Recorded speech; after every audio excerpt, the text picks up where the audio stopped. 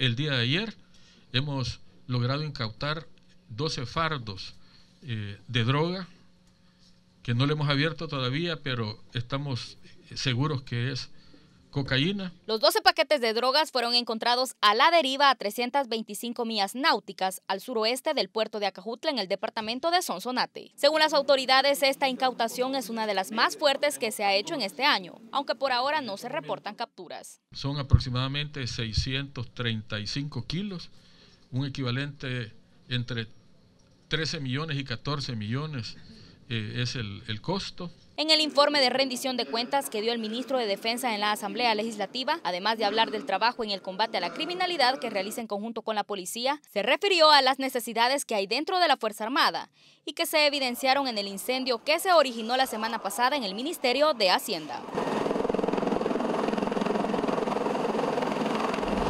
El rol tan importante que desarrollan estas naves, eh, tanto en casos de, de desastres, eh, como para la defensa, para la defensa nacional. Eh, obviamente que nos falta equipo, pero eh, vuelvo y repito, son problemas de carácter financiero que no podemos resolver con el presupuesto que tenemos asignado. El ministro de la Defensa dijo que Taiwán ha donado cuatro helicópteros UH-1H, valorados en 16 millones de dólares, pero se necesitan 2 millones de dólares más para traerlos al país. Las naves tanto de la Fuerza Aérea como de la Fuerza Naval, son caras.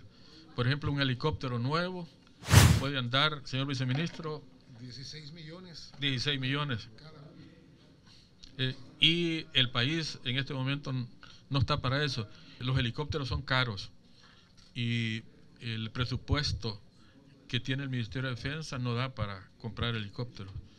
Eh, estamos esperando nosotros un ofrecimiento de de una ayuda que nos ha prometido la República China de Taiwán. El funcionario señaló que se han comenzado a tener pláticas con las diferentes fracciones legislativas para conseguir este dinero.